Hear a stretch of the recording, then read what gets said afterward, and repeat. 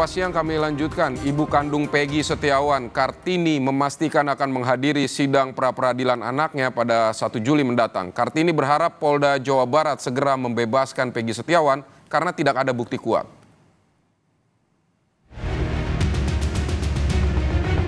Tim kuasa hukum dari Polda Jawa Barat akan menghadiri kegiatan sidang pra-peradilan pada jadwal persidangan yang berikutnya dan akan uh, menyiapkan materi gugatan. Terima kasih, Mulia. Laju kapal pra-peradilan tersangka kasus Vina Cirebon, Peggy Setiawan, masih terombang-ambing.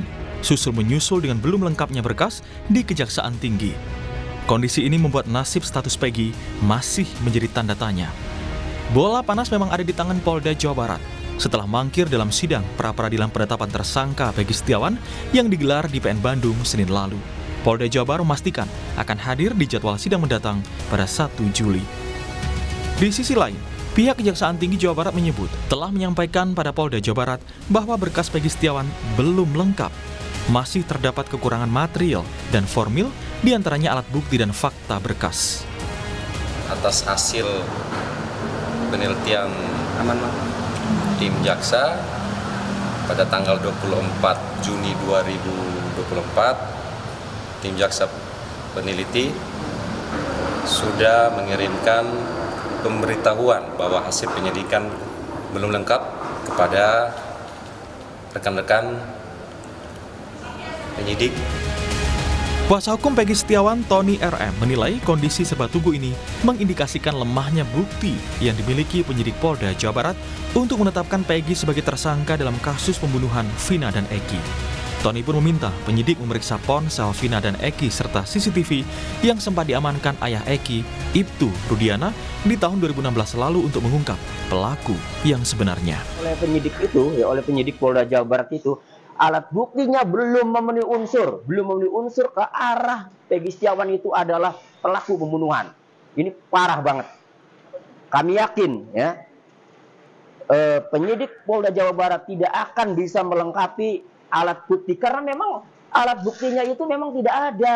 Pina punya handphone, Eki punya handphone, dalam putusan pengadilan itu ada. Diusutlah dari situ. Jangan ditutup-tutupi. Itu dari 2016 handphone Pina Eki nggak dibuka. CCTV nggak dibuka. Kalau itu dibuka, baru ketemu tuh pembunuh yang sebenarnya. Sementara itu keluarga tersangka Peggy Setiawan berharap Polda Jawa Barat segera membebaskan Peggy Setiawan karena tidak ada bukti kuat. Ibu Peggy Kartini berharap tanggal 1 Juli yang bertepatan dengan Hari Bayangkara bisa menjadi momen bagi anaknya agar dibebaskan. Saya untuk Bapak Kapolda saya mohon keluarkan anak saya karena anak saya tidak bersalah. Jangan jangan anak saya di dihukum karena hmm. tidak pernah apa tidak terjadi kejahatan itu. Hmm. Anak saya tidak melakukan kejahatan itu. Jangan dijadikan tumbal gitu ya. ya. Yang dijadikan tumbal atas kesalahan orang lain yang menerima anak saya. Memang, Peggy tidak mesti menunggu kejelasan status selamanya. Jaksa memberikan waktu tujuh hari bagi penyidik Polda Jawa Barat untuk melengkapi berkas pemeriksaan Peggy sebagai tersangka kasus pembunuhan Vina. Sementara penyidik Polda Jawa Barat tentu tidak bisa lagi mangkir pada sidang gugatan pra-peradilan penetapan Peggy sebagai tersangka pada 1 Juli mendatang. Tim Liputan, Kompas TV.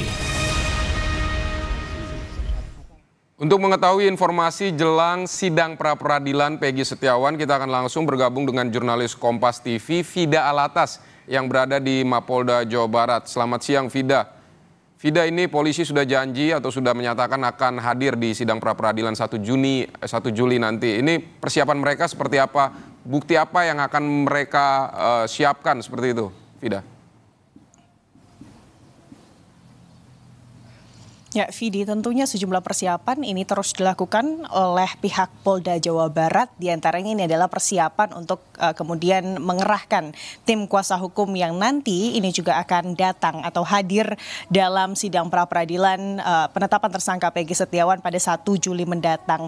Dan tentunya Vidi dan juga saudara di antara atau di atau selain dari tim kuasa hukum yang sudah dipersiapkan, tentunya alat bukti atau sejumlah bukti ini juga telah dipersiapkan oleh tim utamanya dari penyidik dari Ditreskrimum Polda Jawa Barat. Kalau kita melihat Vidi dan juga saudara memang Polda Jawa Barat pada saat kemudian pihak PG Setiawan tersangka kasus pembunuhan Vina dan juga Eki 8 tahun lalu ini menyebut bahwa pihaknya ini akan kemudian melayangkan gugatan uh, pra peradilan begitu ya kepada penyidik dari Polda Jabar. Pihaknya merespon bahwa gugatan tersebut ini sah-sah saja untuk dilayangkan dan siap untuk kemudian menerima uh, gugatan atau proses gugatan tersebut.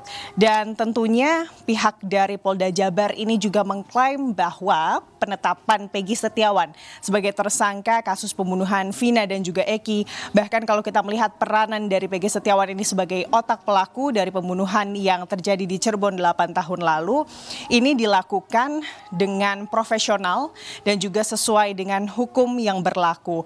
Tapi tentunya Vidi dan juga saudara kalau kita melihat uh, dari penetapan Peggy Setiawan sebagai tersangka yang dilakukan oleh penyidik dari Ditreskrimum Polda Jabar uh, dasar yang kemudian dijadikan atau alat bukti dasar yang dijadikan oleh para penyidik untuk kemudian menetapkan Peggy Setiawan sebagai tersangka kasus pembunuhan Vina dan juga Eki ini adalah kesaksian dari uh, sejumlah saksi yang diperiksa. Hingga kemarin sebelum kemudian pihak Polda Jabar melimpahkan berkas BAP penetapan tersangka Peggy Setiawan ke Kejati Jabar. Paling tidak sudah atau Polda Jabar ini sudah memeriksa sebanyak kurang lebih 70 saksi dan dari kurang lebih 70 saksi tersebut pihaknya mengklaim bahwa paling tidak ada 18 saksi yang kesaksiannya ini dinilaikan atau dinilai memberatkan tersangka PG Setiawan dalam kasus pembunuhan Vina dan juga Eki. Namun uh, Vidi dan juga saudara hal ini tentunya dikritisi oleh kuasa hukum dari Peggy Setiawan yang menyebut jika ini atau karena ini merupakan kasus pembunuhan begitu Vidi dan juga saudara, maka tentunya harapan-harapan alat bukti lain yang berdasarkan scientific crime investigation ini bisa diberikan oleh penyidik dari Ditreskrimum Polda Jabar atas penetapan kliennya Peggy Setiawan sebagai tersangka. Karena kalau melihat ke belakang, Vidi dan juga saudara, selain kemudian keterangan saksi, barang-barang bukti yang kemudian diberikan oleh pihak kepolisian uh, yang dijadikan dasar sebagai alat bukti penetapan Peggy Setiawan sebagai tersangka ini masih sebatas dalam tanda kutip masih sebatas identitas dari Peggy Setiawan. Seperti dalam konferensi pers yang digelar pada saat penetapan Peggy Setiawan sebagai tersangka uh, identitas-identitas seperti akte kelahiran lalu juga ijazah inilah yang kemudian di uh, diberikan begitu ya oleh pihak kepolisian dalam uh, konferensi pers penetapan Peggy Setiawan sebagai tersangka.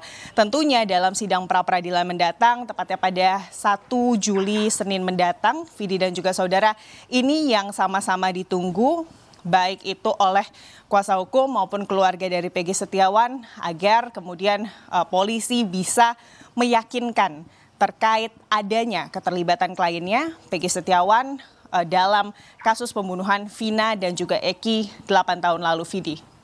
Tidak, memang uh, banyak pihak menunggu sidang 1 Juli nanti, tapi sebelumnya juga uh, pada sidang sebelumnya ini polisi uh, tidak hadir begitu. Padahal mengatakan sudah siap. Nah, apakah ada kemungkinan tidak datang lagi di sidang nanti 1 Juli? Polisi bisa saja tidak hadir, Vidi dan juga saudara dalam sidang pra peradilan, meskipun memang uh, berkali-kali pihaknya ini menyebut bahwa uh, pihak dari Polda Jabar ini memastikan akan hadir dalam sidang pra peradilan mendatang.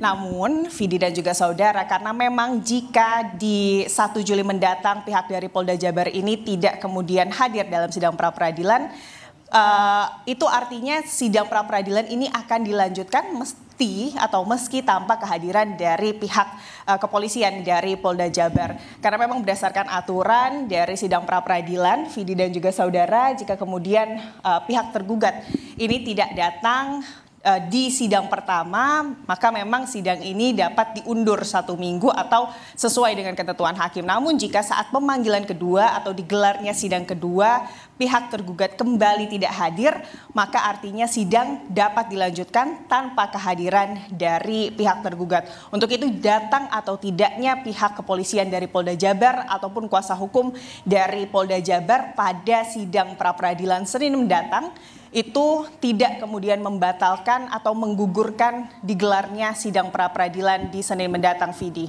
Baik Vida, polisi kembali menyatakan siap untuk menghadapi sidang pra peradilan rencananya berlangsung 1 Juli nanti. Terima kasih untuk laporan Anda, Vida Latas.